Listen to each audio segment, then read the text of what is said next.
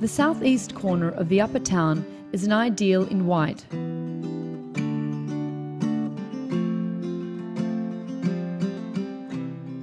The Church of St. Catherine flanks a small square. A quiet spot for high school students and tourists.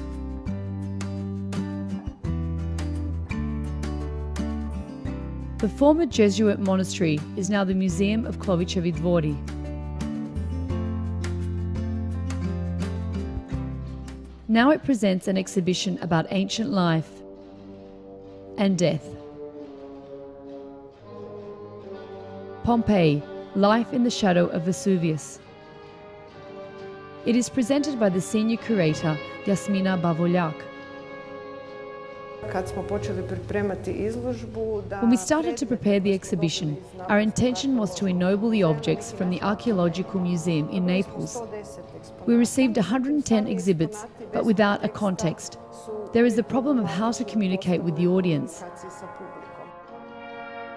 Therefore, they divided the exhibits into sections like home, victims, garden, banquet, eroticism.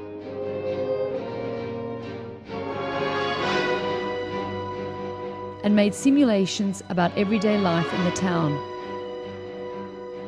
This life is so well known because of a catastrophe. The volcano Mount Vesuvius erupted in 79 AD. Volcano ash buried the entire city. The shapes of its suffocated citizens have remained preserved too. But because of that disaster, now we know a lot about city life at the pinnacle of the Roman Empire.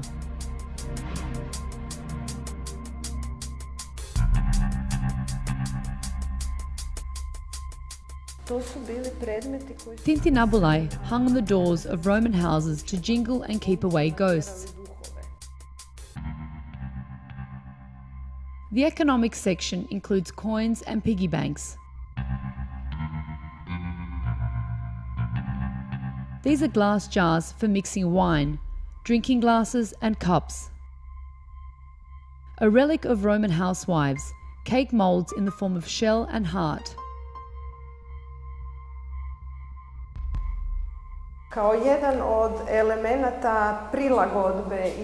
As an element of adaptation and better perception of Pompeii, we magnified the frescoes from the Villa of the Mysteries. The villa was named after the mysteries shown on its walls. It's the initiation of a girl into the cult of Dionysus. Erotic frescoes were a common sight in Roman homes.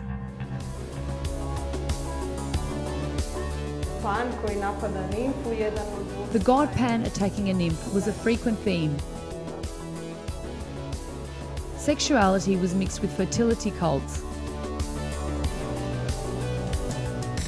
Phalluses were used as talisman.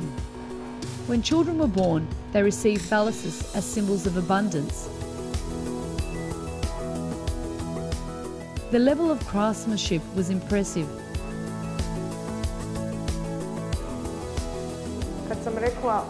When I mentioned beautiful jewellery, I primarily meant this necklace of ivy leaves. It was found in fragments and reassembled over the years. It all speaks about the civilization of the Romans, the ancestors of unified Europe. It is worth taking a peek.